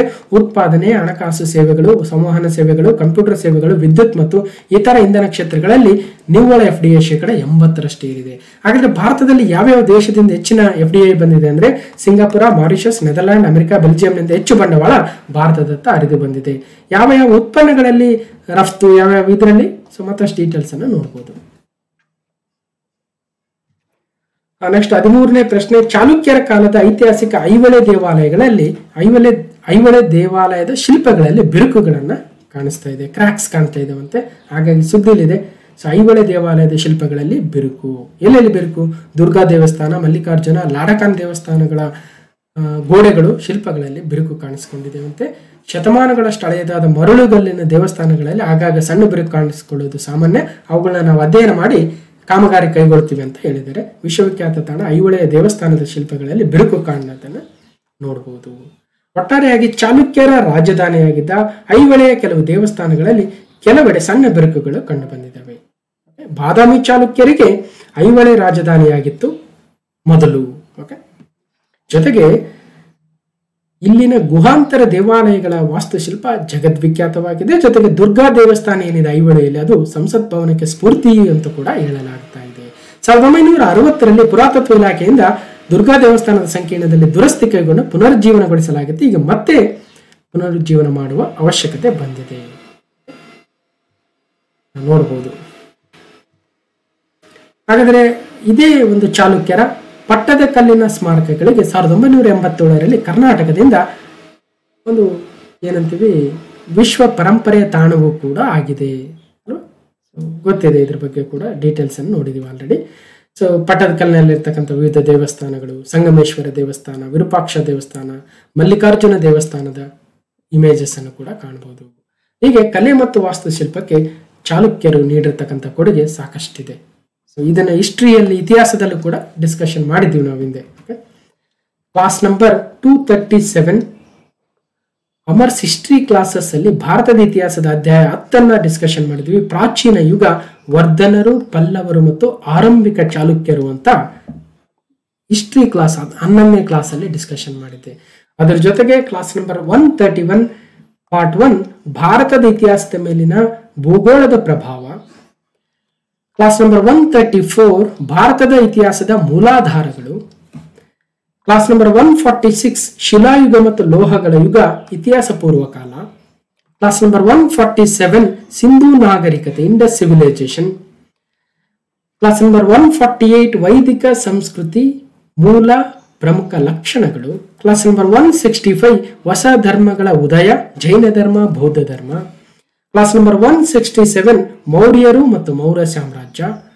ನೆಕ್ಸ್ಟ್ ಕುಶಾಣರು, ಅದೇ ರೀತಿಯಾಗಿ ಗುಪ್ತರು, ಚೋಳರು ಪಲ್ಲವರು ವರ್ಧನರು, ಆರಂಭಿಕ ಚಾಲುಕ್ಯರು. ಬಹಳ ಜನಕ್ಕೆ ಹಿಸ್ಟ್ರಿ ಪಾಠ ಮಾಡಿರೋದು ಗೊತ್ತಿಲ್ಲ ಅನ್ಸುತ್ತೆ. ಹೋಗಿ ನೋಡಿ. ಸೊ ಬಹಳ ನಾಲೆಜ್ ನಾಲೆಜ್ ಫುಲ್ ಆಗಿದ್ದಾವೆ ಅಂತ ಹೇಳ್ತಾ. ಸೊ ಅದ್ರ ಬಗ್ಗೆ ಮತ್ತಷ್ಟು ಡೀಟೇಲ್ಸ್ ದುರ್ಗಾ ದೇವಸ್ಥಾನ, ನಮ್ಮ ಹಳೆಯ ಸಂಸತ್ ಭವನದ ಏನು ಕಟ್ಟಡದ ಆರ್ಕಿಟೆಕ್ಚರ್ಗೆ ಮೂಲ ಅಥವಾ ಒಂದು ಪ್ರೇರಣೆ ಅಂತ ಏನು ಕರಿತೀವಿ? ಐಹೊಳೆಯಲ್ಲಿದೆ. ಬಾದಾಮಿಯ ಗುಹೆ ದೇವಾಲಯಗಳನ್ನು ಕಾಣ್ಬೋದು ಪಟ್ಟದಕಲ್ಲಿನ ವಿರೂಪಾಕ್ಷ ದೇವಸ್ಥಾನವನ್ನು ಕಾಣ್ಬೋದು, ಮಹಾಕೂಟ ದೇವಾಲಯಗಳ ಗುಂಪು ಕೂಡ ಬಾದಾಮಿ ಚಾಲುಕ್ಯರ ಕೊಡುಗೆಯಾಗುತ್ತೆ. ಹೀಗೆ ವಾಸ್ತುಶಿಲ್ಪದ ಪ್ರಮುಖ ಲಕ್ಷಣಗಳೇನೇನು? ಅಥವಾ ಬಾದಾಮಿ ಚಾಲುಕ್ಯರ ವಾಸ್ತುಶಿಲ್ಪದ ಬಗ್ಗೆ ಮತ್ತಷ್ಟು ಡೀಟೇಲ್ಸ್ ಅನ್ನು ಅದು ಯಾವ ಶೈಲಿಯಲ್ಲಿತ್ತು? ವೇಸರ ಶೈಲಿ ಮತ್ತು ಚಾಲುಕ್ಯ ಶೈಲಿ ಅಂದ್ರೇನು? ಈ ಶೈಲಿಯನ್ನು ಕೆಲವೊಮ್ಮೆ ವೇಸರ ಶೈಲಿ ಅಂತ ಕರೆದರೆ, ಕೆಲವೊಂದ್ಸಲ ಚಾಲುಕ್ಯ ಶೈಲಿ ಅಂತ ಕೂಡ ಕರೀತಾರೆ. ಚಾಲುಕ್ಯರ ದೇವಾಲಯಗಳ ವಾಸ್ತುಶಿಲ್ಪವು ಉತ್ತರ ಮತ್ತು ದ್ರಾವಿಡ ಶೈಲಿಯ ಮಿಶ್ರಣವಾಗಿದೆ. ಆ ದೇವಾಲಯದ ವಾಸ್ತುಶಿಲ್ಪದಲ್ಲಿ ಪರಿವರ್ತನೆ ಮತ್ತು ಪ್ರಯೋಗವನ್ನು ಕಾಣಬಹುದು ಕ್ರಿಸ್ತ ಶಕ ಐದರಿಂದ ಎಂಟನೇ ಶತಮಾನದಲ್ಲಿ ವಿಕಸನಗೊಂಡ ದೇವಾಲಯದ ನಿರ್ಮಾಣದ ವೈಶಿಷ್ಟ್ಯವೇ ಬಾದಾಮಿ ಚಾಲುಕ್ಯರ ವಾಸ್ತುಶೈಲಿಯ ಮಲಪ್ರಭಾ ನದಿಯ ಜಲಾನಯನ ಪ್ರದೇಶದಲ್ಲಿ ಕಂಡುಬಂದಿತ್ತು. ಪಟ್ಟದಕಲ್ಲಿನ ಪಟ್ಟದ ಕಲ್ಲಿನ ಸಂಗಮೇಶ್ವರ ದೇವಾಲಯ, ವಿರೂಪಾಕ್ಷ ದೇವಸ್ಥಾನ, ಮಲ್ಲಿಕಾರ್ಜುನ ದೇವಾಲಯ ಚಾಲುಕ್ಯ ಶಿವ ದೇವಾಲಯ, ಹಿಂದೆ ಲಾಡಕಾನ್ ದೇವಾಲಯ ಅಂತ ಕರಿತಾ ಇದ್ರು. ಯಾಕೆ ಲಾಡಕಾನ್ ದೇವಾಲಯ? ಯಾರು ಲಾಡಕಾನ್ ಅಂತ ಆ ಕ್ಲಾಸಲ್ಲಿ ಹೋಗಿ ನೋಡಿ. ಗುಹಾಂತರ ದೇವಾಲಯಗಳು ಬಾದಾಮಿ ಬಗ್ಗೆ ಇದೆ ಡೀಟೇಲ್ಸು ಬಾದಾಮಿಯ ಗುಹಾಂತರ ದೇವಾಲಯಗಳಲ್ಲಿ ಯಾವ ಗುಹೆಯಲ್ಲಿ ಏನೇನಿದೆ ಅಂತ ಬಹಳ ಸಲ ಎಕ್ಸಾಮ್ ಅಲ್ಲಿ ಕೇಳಿದ್ದಾರೆ. ಅಲ್ವಾ? ಸೊ ಅದ್ರ ಬಗ್ಗೆ ಡೀಟೇಲ್ಸ್ ಇದೆ. ಇನ್ನು ಲಾಡಕಾನ್ ದೇವಾಲಯ ಅಲ್ಲಿ ಯಾರು? ಲಾಡಕಾನ್ ಎಂಬ ಮುಸ್ಲಿಂ ಸಂತ ಇಲ್ಲಿ ಹೆಚ್ಚು ದಿನಗಳ ಕಾಲ ವಾಸವಾಗಿದ್ದರಿಂದ ಜನರು ಈ ದೇವಾಲಯವನ್ನ ಲಾಡಕಾನ್ ದೇವಾಲಯ ಅಂತ ಕರೆದ್ರು. ನೋಡಿ ಯಾವ ರೀತಿಯಾಗಿದೆ? ದುರ್ಗದ ದೇವಾಲಯ. ಸೊ ಮತ್ತಷ್ಟು ಡೀಟೇಲ್ಸ್ ಇದೆ ನೋಡಿ. ಮೇಘತು ಟೆಂಪಲ್ ಐಹೊಳೆ ಶಾಸನ ಇರ್ತಕ್ಕಂಥದ್ದೇ ಮೇಘತು ಜೈನ ದೇವಾಲಯದಲ್ಲಿ, ಅಲ್ವಾ? ಸೊ ಏಳನೇ ಶತಮಾನದಲ್ಲಿ ರವಿಕೀರ್ತಿಯಿಂದ ರಚಿಸಲ್ಪಟ್ಟ ಐಹೊಳೆ ಶಾಸನ ಇರೋದು ಐಹೊಳೆಯಲ್ಲಿ ಹುಡುಕಿದ್ರೆ ಸಿಗಲ್ಲ. ಐಹೊಳೆಯಿಂದ ಸ್ವಲ್ಪ ದೂರದಲ್ಲಿದೆ. ಓಕೆ ಸೊ ಐಹೊಳೆ ಪಕ್ಕದ ಚಿಕ್ಕ ಗುಡ್ಡದ ಮೇಲೆ ಇರುವ ಮೇಘತಿ ಜೈನ ದೇವಾಲಯವನ್ನ ರವಿಕೀರ್ತಿ ಕಟ್ಟಿಸ್ತಾನೆ. ಈ ದೇವಾಲಯದ ಪೂರ್ವ ಗೋಡೆಯ ಮೇಲೆ ಐಹೊಳೆ ಶಾಸನವನ್ನ ಬರೆಯಲಾಗಿದೆ. ಓಕೆ, ನೋಡಿ. ನೆಕ್ಸ್ಟ್ ಕ್ವಶನ್ ನಂಬರ್ ಫೋರ್ಟೀನ್ ಪಶ್ಚಿಮ ಬಂಗಾಳದ ಮಾಜಿ ಸಿಎಂ ಬುದ್ಧದೇವ ಭಟ್ಟಾಚಾರ್ಯರು, ರಾಜಶೇಖರ್ ನೀರ್ಮಾನ್ವಿ ಸಾಹಿತಿ, ಇನ್ನಿತರ ಮಹಾನ್ ಗಣ್ಯರು ಇತ್ತೀಚೆಗೆ ನಿಧನರಾಗಿದ್ದಾರೆ. ಅವರ ನಿಧನ ವಾರ್ತೆಯನ್ನು ನೋಡ್ತಾ ಹೋಗೋಣ. ಸೊ ಮೊದಲನೇದಾಗಿ ಸಿಪಿಎಂ ಪಕ್ಷದ ಧುರೀಣ ಪಶ್ಚಿಮ ಬಂಗಾಳದ ಮಾಜಿ ಮುಖ್ಯಮಂತ್ರಿಗಳು ಬುದ್ಧದೇವ್ ಭಟ್ಟಾಚಾರ್ಯರವರು ಇತ್ತೀಚೆಗೆ ನಿಧನರಾದರು. ಪ್ರಶ್ನೆ ಕೇಳ್ತಾರೆ ಇತ್ತೀಚೆಗೆ ನಿಧನರಾದ ಬುದ್ಧದೇವ್ ಭಟ್ಟಾಚಾರ್ಯ ಇವರು ಯಾವ ರಾಜ್ಯದ ಮುಖ್ಯಮಂತ್ರಿಗಳಾಗಿದ್ದರು? ಒರಿಸ್ಸಾ, ಬಂಗಾಳ, ಕೇರಳ ಅಥವಾ ಇನ್ನೊಂದು ರಾಜ್ಯ ಕೊಡ್ತಾರೆ? ನೆನ್ಪಿಡ್ಬೇಕು. ಪಶ್ಚಿಮ ಬಂಗಾಳದ ಮಾಜಿ ಸಿಎಂ ಇವರು ಸಿಪಿಎಂ ಪಕ್ಷದವರು. ಯಾರು? ಜ್ಯೋತಿ ಬಸು. ಬಹಳ ವರ್ಷಗಳ ಕಾಲ ಮುಖ್ಯಮಂತ್ರಿಗಳಾಗಿದ್ದರು ಪಶ್ಚಿಮ ಬಂಗಾಳದ ಅವರ ನಂತರ ಬಂದಿರತಕ್ಕಂಥವರು ಬುದ್ಧದೇವ್ ಭಟ್ಟಾಚಾರ್ಯರು. ಇವರು ಕೂಡ ಸುಮಾರು ಹನ್ನೊಂದು ವರ್ಷಗಳ ಕಾಲ ಪಶ್ಚಿಮ ಬಂಗಾಳದ ಮುಖ್ಯಮಂತ್ರಿಗಳಾಗಿ ಕಾರ್ಯನಿರ್ವಹಿಸಿದ್ರು. ಮತ್ತೊಬ್ಬರು ಕತೆಗಾರ ರಾಜಶೇಖರ ನೀರ್ಮಾನ್ವಿ. ನಮ್ಮ ರಾಯಚೂರು ಜಿಲ್ಲೆಯ ನಮ್ಮ ಮಾನ್ವಿ ತಾಲೂಕಿನ ನೀರ್ಮಾನ್ವಿ ಗ್ರಾಮದ ರಾಜಶೇಖರ ಅವರು ಬಳ್ಳಾರಿಯ ವೀರಶೈವ ಪದವಿ ಕಾಲೇಜಿನಲ್ಲಿ ಪ್ರಾಧ್ಯಾಪಕರಾಗಿ ನಿವೃತ್ತರಾಗಿದ್ದರು. ಗೋಕಾಕ ಚಳವಳಿ ಜೆಪಿ ಚಳವಳಿ, ವಾಟಾಳ ಚಳವಳಿಯಲ್ಲಿ ಭಾಗವಹಿಸಿದರು ಸಾವಿರದ ಒಂಬೈನೂರ ಎಪ್ಪತ್ತೆಂಟರಲ್ಲಿ ಪ್ರಕಟವಾದ ನೀರ್ಮಾನ್ವಿ ಅವರ ಅಂಗಿನ ಅರಮನೆಯ ಹೊರಗೆ ಮೊದಲ ಕಥಾ ಸಂಕಲನಕ್ಕೆ ಅದೇ ವರ್ಷ ಕರ್ನಾಟಕ ಸಾಹಿತ್ಯ ಅಕಾಡೆಮಿ ಪ್ರಶಸ್ತಿ ಸಿಕ್ತು. ನಂತರ ಅವರು ಕರ್ಪೂರದ ಕಾಯದಲ್ಲಿ ಎಂಬ ಕಥಾ ಸಂಕಲನವನ್ನು ಕೂಡ ತಂದರು. ಅವರು ಬರೆದದ್ದು ಕಡಿಮೆ, ಆದರೆ ಬಹಳಷ್ಟು ಪ್ರಮುಖವಾಗಿರ್ತಕ್ಕಂಥ ಕೃತಿಗಳನ್ನು ಬರೆದಿದ್ದಾರೆ ರಾಜಶೇಖರ ನೀರ್ಮಾನ್ವಿರವರು. ಇನ್ನೊಬ್ರು ಕೇಂದ್ರದ ಮಾಜಿ ವಿದೇಶಾಂಗ ಸಚಿವರು ಕೆ. ನಟ್ವರ್ ಸಿಂಗ್ ಅವರು ಕೂಡ ಇತ್ತೀಚೆಗೆ ನಿಧನರಾದರು. ಕೆ. ನಟ್ವರ್ ಸಿಂಗ್ ರಾಜಸ್ಥಾನದ ಭರತ್ಪುರ್ ಜಿಲ್ಲೆಯಲ್ಲಿ ಸಾವಿರದ ಒಂಬೈನೂರ ಮೂವತ್ತೊಂದರಲ್ಲಿ ಜನಿಸಿದ್ರು. ಮನಮೋಹನ್ ಸಿಂಗ್ ನೇತೃತ್ವದ ಯುಪಿಎ ಸರ್ಕಾರದ ಮೊದಲ ಅವಧಿ ಎರಡ್ ಸಾವಿರದ ನಾಲ್ಕು ಐದರಲ್ಲಿ ಅವರು ವಿದೇಶಾಂಗ ವ್ಯವಹಾರಗಳ ಸಚಿವರಾಗಿ ಕಾರ್ಯನಿರ್ವಹಿಸಿದ್ರು. ಜೊತೆಗೆ ಇಂದಿರಾ ಗಾಂಧಿ ಅವರು ಪ್ರಧಾನಿಯಾಗಿದ್ದಾಗ ಸಾವಿರದ ಒಂಬೈನೂರ ಅರವತ್ತ ಆರರಿಂದ ಎಪ್ಪತ್ತೊಂದರವರೆಗೆ ನಟವರ್ ಅವರು ಭಾರತದ ರಾಯಭಾರಿಯಾಗಿ ಪಾಕಿಸ್ತಾನದಲ್ಲಿ ಸೇವೆ ಸಲ್ಲಿಸಿದ್ರು. ಇವರ ಜೀವನ ಚರಿತ್ರೆ ಹೆಸರು one life is not enough ನೋಡಿ one life is not enough ಅವರ ಕೃತಿ ಕೇಂದ್ರದ ಮಾಜಿ ಸಚಿವರು ನಟವರ್ ಸಿಂಗ್. ಸಾವಿರದ ಒಂಬೈನೂರ ಎಂಬತ್ನಾಲ್ಕರಲ್ಲಿ ಪದ್ಮಭೂಷಣ ಪ್ರಶಸ್ತಿಯನ್ನ ನೀಡಲಾಗಿತ್ತು. ಮತ್ತೊಬ್ಬರು ಇತ್ತೀಚೆಗೆ ಹೃದಯಾಘಾತದಿಂದ ಕರಾವಳಿ ರಕ್ಷಣಾ ಪಡೆಯ ಡಿಜಿ ರಾಕೇಶ್ ಪಾಲ್ ಅವರು ನಿಧನರಾಗಿದ್ದಾರೆ. ಕರಾವಳಿ ರಕ್ಷಣಾ ಪಡೆಯ ಮಹಾ ನಿರ್ದೇಶಕರು, ಡೈರೆಕ್ಟರ್ ಜನರಲ್ ರಾಕೇಶ್ ಪಾಲ್ ಅವರು ಇತ್ತೀಚೆಗೆ ನಿಧನರಾದರು. ಅವರು ಜಸ್ಟ್ ಒಂದು ವರ್ಷದಿಂದನೇ ಅಧಿಕಾರಕ್ಕೆ ಬಂದಿದ್ದರು. ರಾಕೇಶ್ ಪಾಲ್ ಅವರು ಎರಡ್ ಸಾವಿರದ ಇಪ್ಪತ್ತ್ ಮೂರು ಜುಲೈಯಲ್ಲಿ ಕರಾವಳಿ ರಕ್ಷಣಾ ಪಡೆ ಇಪ್ಪತ್ತೈದನೇ ಮಹಾನಿರ್ದೇಶಕರಾಗಿ ನೇಮಕಗೊಂಡಿದ್ದರು. ಈಗ ಹೃದಯಾಘಾತದಿಂದ ಇನ್ನಿಲ್ಲವಾಗಿದ್ದಾರೆ ರಾಕೇಶ್ ಪಾಲ್ ಅವರು ಹ. ಆ, ಜೊತೆಗೆ ಭೂಸೇನಾ ಮಾಜಿ ಮುಖ್ಯಸ್ಥ ಜಿ ಸುಂದರ ರಾಜನ್ ಅವರು ಅನಾರೋಗ್ಯದಿಂದ ಬಳಲುತ್ತಿದ್ದ ಭೂಸೇನೆಯ ಮಾಜಿ ಮುಖ್ಯಸ್ಥ ಜನರಲ್ ಸುಂದರ ರಾಜನ್ ಪದ್ಮನಾಭನ್ ಅವರು ಇತ್ತೀಚೆಗೆ ನಿಧನರಾದರು. ಅವರು ಯಾವ ಒಂದು ಪಡೆಯ ಮುಖ್ಯಸ್ಥರಾಗಿದ್ರು ಅಂತ ಕೇಳ್ಬೋದು. ಜನರಲ್ ಪದ್ಮನಾಭನ್ ಅವರು ಎರಡ್ ಸಾವಿರದ ಇಸ್ವಿಯಲ್ಲಿ ಎರಡ್ ಸಾವಿರದ ಎರಡರವರೆಗೆ ದೇಶದ ಸೇನಾ ಮುಖ್ಯಸ್ಥರಾಗಿ ಕೂಡ ಸೇವೆಯನ್ನು ಸಲ್ಲಿಸಿದ್ರು. ಜಿ ಸುಂದರ ರಾಜನ್ ಪದ್ಮನಾಭನ್. ಸೊ ಜೊತೆಗೆ Girish Sahni former director general of C S I R ಕೂಡ ಇತ್ತೀಚೆಗೆ ನಿಧನರಾದರು. ಸೊ ಗಿರೀಶ್ ಸಾಹ್ನಿ ಯಾವ ಸಂಸ್ಥೆಯ ಮುಖ್ಯಸ್ಥರಾಗಿದ್ದರು ಅಂದರೆ ಸಿ ಎಸ್ ಐ ಆರ್ನ ಮುಖ್ಯಸ್ಥರಾಗಿದ್ದರು council of scientific and industrial ರಿಸರ್ಚ್ನ ಮುಖ್ಯಸ್ಥರು, ಮಾಜಿ ಮುಖ್ಯಸ್ಥರು ಗಿರೀಶ್ ಸಾಹ್ನಿ ಇತ್ತೀಚೆಗೆ ನಿಧನರಾದರು. ನೆಕ್ಸ್ಟ್ ಮುಂದಿನ ಪ್ರಶ್ನೆ P M A Y G ಮುಂದಿನ ಐದು ವರ್ಷದಲ್ಲಿ ಎರಡು ಕೋಟಿ ಆವಾಸ್ ಮನೆಗಳ ನಿರ್ಮಾಣದ ಗುರಿಯನ್ನ ಹಾಕೊಂಡಿದೆ ಸೊ ಎರಡು ಕೋಟಿ ಮನೆ ನಿರ್ಮಾಣ, ಐದು ವರ್ಷದ ಯೋಜನೆ, ಕೇಂದ್ರ ಸಚಿವ ಸಂಪುಟ ಅನುಮೋದನೆ. ಸೊ ಪ್ರಧಾನಮಂತ್ರಿ ಆವಾಸ್ ಯೋಜನೆ, ಗ್ರಾಮೀಣ P M A Y G ಅಡಿಯಲ್ಲಿ ಮುಂದಿನ ಐದು ವರ್ಷಗಳ ಅವಧಿಯಲ್ಲಿ ಇನ್ನು ಎರಡು ಕೋಟಿ ಮನೆಗಳನ್ನು ನಿರ್ಮಿಸುವ ಪ್ರಸ್ತಾವನೆಗೆ ಕೇಂದ್ರ ಸಂಪುಟ ಒಪ್ಪಿಗೆಯನ್ನು ನೀಡಿದೆ. ಒಟ್ಟಾರೆಯಾಗಿ ಇಲ್ಲಿ ಎರಡು ಯೋಜನೆ ಬರ್ತವೆ. ಒಂದು, ಗ್ರಾಮೀಣ ಪ್ರದೇಶದಲ್ಲಿರ್ತಕ್ಕಂಥ ಬಡ ಜನರಿಗೆ ಮನೆಯನ್ನ ನೀಡ್ತಕ್ಕಂಥ ಪ್ರಧಾನಮಂತ್ರಿ ಗ್ರಾಮೀಣ ಆವಾಸ್ ಯೋಜನೆ. ಇನ್ನೊಂದು, ಪ್ರಧಾನಮಂತ್ರಿ ಆವಾಸ್ ಯೋಜನೆ ನಗರ, ಅರ್ಬನ್ ಅಂತ. ಸೊ ಯೋಜನೆಗಳ ಬಗ್ಗೆ ಬಹಳಷ್ಟು ಒಂದಷ್ಟು ಡೀಟೇಲ್ಸ್ಗಳನ್ನು ಕೂಡ ಕೇಳ್ತಾರೆ. ಯಾವ್ಯಾವ ಯೋಜನೆ ಅಂತ ಒಂದು ಲಿಸ್ಟ್ ಅನ್ನು ನೋಡೋದು. ಪ್ರಧಾನಮಂತ್ರಿ ಗ್ರಾಮೀಣ ಆವಾಸ್ ಯೋಜನೆ, ಪ್ರಧಾನಮಂತ್ರಿ ಆವಾಸ್ ಯೋಜನೆ ಅರ್ಬನ್ ಅದ್ರ ಬಗ್ಗೆ ಮತ್ತಷ್ಟು ಡೀಟೇಲ್ಸ್ ಅನ್ನು ಕೂಡ ನೋಡಬಹುದು ಹೀಗೆ ಒಟ್ಟಾರೆಯಾಗಿ ಆಗಸ್ಟ್ ಎರಡ್ ಸಾವಿರದ ಇಪ್ಪತ್ನಾಲ್ಕರ ಹತ್ತನೇ ಭಾಗದ ಪ್ರಮುಖ ಪ್ರಚಲಿತ ಘಟನೆಗಳನ್ನು ನೋಡಿದ್ವಿ. ಹೀಗೆ ಬೇರೆ ಬೇರೆ ವಿಡಿಯೋಸ್ ಇದ್ದಾವೆ ಎಲ್ಲವನ್ನು ನೋಡಿ ನಿಮ್ಮ ಜ್ಞಾನವನ್ನು ಹೆಚ್ಚಿಸ್ಕೊಳ್ಳೋ ಜೊತೆಗೆ ನಮ್ಮ ಟೀಮ್ಗೂ ಕೂಡ ಬೆಂಬಲವನ್ನು ನೀಡಿ ಅಂತ ಹೇಳ್ತಾ. ಸೊ ಈ ವಿಡಿಯೋನ ಕಂಪ್ಲೀಟ್ ಆಗಿ ನೋಡಿರ್ತಕ್ಕಂಥ ಎಲ್ರಿಗೂ ಧನ್ಯವಾದಗಳು. ಮತ್ತೆ ಮುಂದಿನ ವಿಡಿಯೋದಲ್ಲಿ ಸಿಗ್ತೀನಿ ಅಂತ ಹೇಳ್ತಾ ಥ್ಯಾಂಕ್ ಯು